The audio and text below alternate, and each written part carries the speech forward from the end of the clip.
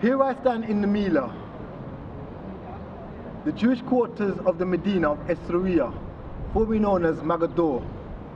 In the 18th century, before and even to a time period after, this portion of the fortified city was home to a striving Israelite community. Today, as you see, it's only just a thing of the past. Although people live here, all of whom are Muslim,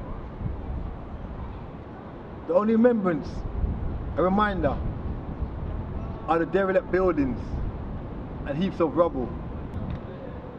Who were these Jews of the Medina in Mogador, who according to history were great tradesmen and were favoured and respected by some of the greatest sultans of the past, including Muhammad bin Abdullah, the grandson of the famous Black Sultan, Moulay Ismail ibn Sharif. The answer to the identity of the Jews who once lived here during the period of the great sultans isn't found thousands of miles away in what is known as the modern state of Israel, where mass migration from Morocco has taken place, but right here in the Medina walls. Here lies the true identity of the Israelite community that once lived here, in the ancient synagogue that has been restructured and rebuilt. Here lies the truth that many seek after. Inside this restored synagogue, there are pictures everywhere. Historical evidence is right before my eyes. This extraordinary building has much to be desired. Here inside the synagogue, known as the Synagogue of Chaim Pinto, you find some very interesting pictures of the Jews of Mogador. Upon closer examination of the four pictures, it is clear to see that the Moroccan Jews of the past were highly melanated beings. Here we see black Jews walking through the Medina. Below we see these same dark-skinned Israelites at the Bab el-Masa in Mogador, which was built in 1769 during the reign of Mohammed bin Abdullah as part of the reconstruction of the fortification of the city. As you can see, there is an engraved inscription above the arch as to when and who constructed this forted gate. In this recent picture of the same door, a close and more detailed inscription can be seen. This picture isn't quite as clear. However, the fourth picture clearly depicts these ancient Israelites who lived in the Medina as melanated people.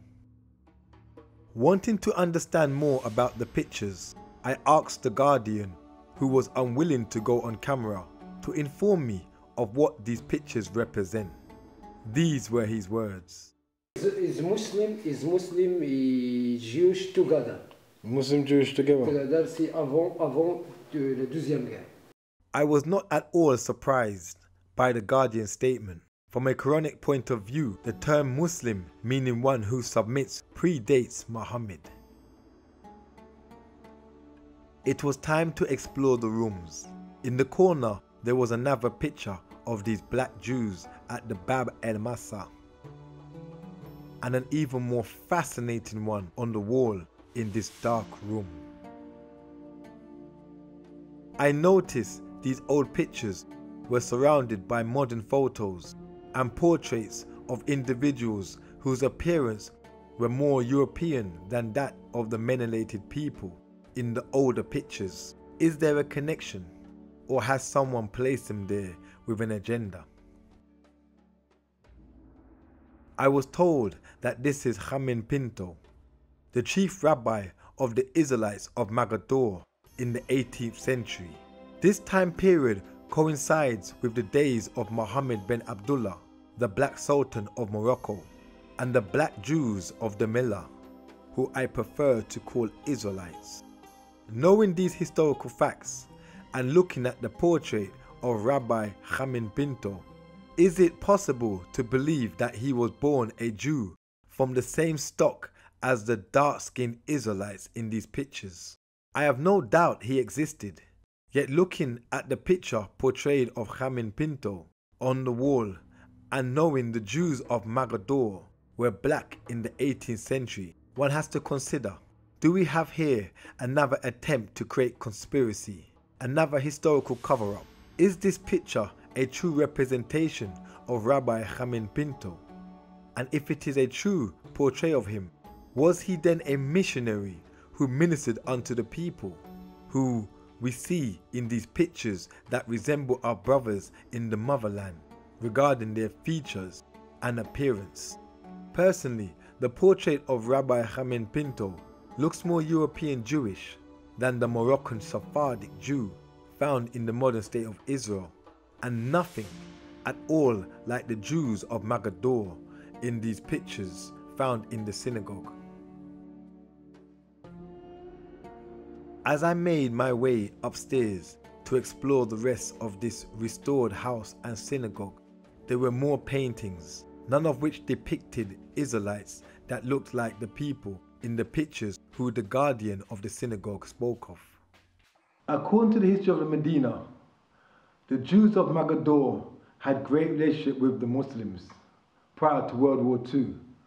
But it doesn't come as a surprise to me, for according to the Quran, the Prophet Muhammad taught the teachings of Noah, Abraham, Moses, and Isa. After all, unification, they were one. Once in the Medina, in this fortified portion of the city, the Jewish community were in the majority here. And they lived side by side with their Muslim brothers and sisters. But what happened? Question after question needs to be asked. Did they intermarry with the locals and no longer practice their way of life? Did they leave? Did they go to the Western Sahara or even to the Algerian desert? What happened to these ancient people? what happened to this Asian Israelite community, to these indigenous black Jews. In the 18th century was born Mohammed bin Abdullah, the son of the Sultan Abdullah, who according to history was much more open-minded than some of the prior sultans. In fact, it's recorded that he made treaty with European countries such as Spain and made trade agreements with the French and the English. I had good working relationships with the Jews of Mogador. Mohammed bin Abdullah's grandfather, Moulay Ismail ibn Sharif, is said to be so proud of his accomplishments, his pride and blackness, that he formed the Black Guard, made up of some of the best and beautifulest of Morocco's tallest and blackest of men. My question is, where did these black Jews of Mogador go? Who were great tradesmen and had high respect by the sultans of the past. Did they go further south into Africa, deep Africa? Or did they mingle with the locals or the traders with who they traded from Europe, intermingling and creating genetic changes, family ties, and alteration of their genes. Who are the Jews of Morocco in the state of Israel today? What happened is my question. Many unanswered questions, much to learn, so much to research. But one thing I do know, that the indigenous Israelites who were here in Mogador in the days and during the period of Muhammad ben Abdullah were melanated beings and features and characteristics as those of indigenous Africans. This I am sure of. When will mankind learn? Distorting historical truth can never bring harmony. Lies only bring more lies and increased confusion. Truth will always surface this is universal law. Regarding the true identity of the Jews of Mogador in the 18th century, history unveils their blackness.